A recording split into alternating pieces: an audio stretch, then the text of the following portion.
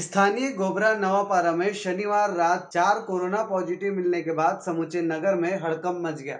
आनंद फानन प्रशासन द्वारा मेडिकल स्टोर को छोड़कर समूचे नगर को आगामी आदेश तक बंद रखने के आदेश जारी किए गए हैं। पॉजिटिव मिले चार लोगों में एक सात साल की मासूम बच्ची भी है और एक गोबरा नवापारे के सामुदायिक स्वास्थ्य केंद्र का कर्मचारी शामिल है। कर्मचारी को छोड़कर शेष तीन लोगों की ट्रैवल हिस्ट्री सामने आई है। सभी चारों लोग शीतलापारा अरिहंत कॉलोनी, दम्मानी कॉलोनी व किसान पारा से आते हैं।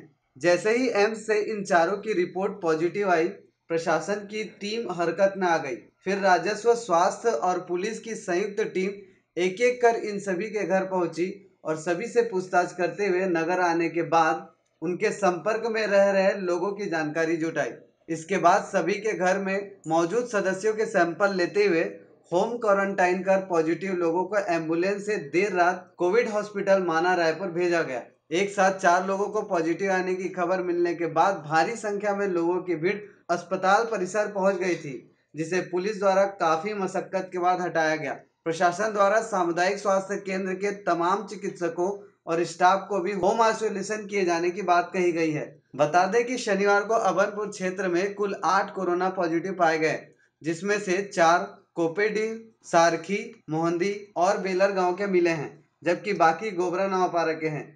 सभी को एम्स और माना भेजा जा चुका है। नवापारा के चार अलग अलग जगहों से कोरोना मरीजों के मिलने के चलते पूरे नगर को कलेक्टर रायपुर के आदेश पर जिन जगहों से कोरोना मरीज़ मिले हैं, उन क्षेत्रों को प्रशासन द्वारा बैरिकेड लगाकर सील कर दिया गया है।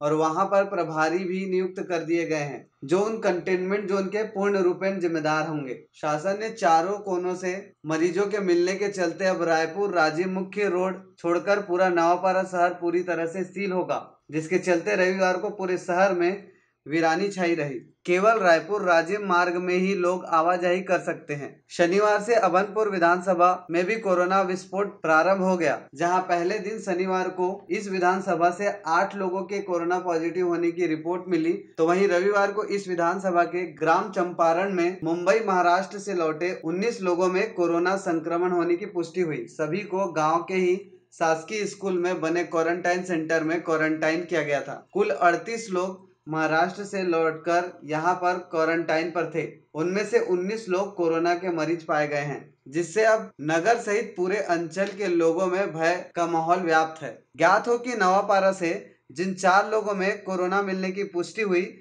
उसमें अस्पताल का एक कर्मचारी भी है, जो अस्पताल के बाकी अन्य कर्मचारियों के साथ अलग अलग शिफ्ट में काम किया हुआ है। लिहाजा पूरे नवापारा सामुदायिक स्वास्थ्य केंद्र के स्टाफ में कोरोना की संक्रमण का भय बना हुआ है। इस पर खंड चिकित्सा अधिकारी डॉक्टर झा ने बताया कि इन सभी का मेडिकल जाँच जल्द से जल्द कराया जाएगा। वहीं अस्पताल कर्मचारियों को एम्स की जगह कोविड अस्पताल माना भेजे जाने के संबंध में कहा कि एम्स में पर्याप्त मात्रा में बेड नहीं है। लिहाजा उन्हें कोविड अस्पताल माना भेजा गया है और आशा है की सभी जल्द ठीक होकर घर वापस लौटेंगे।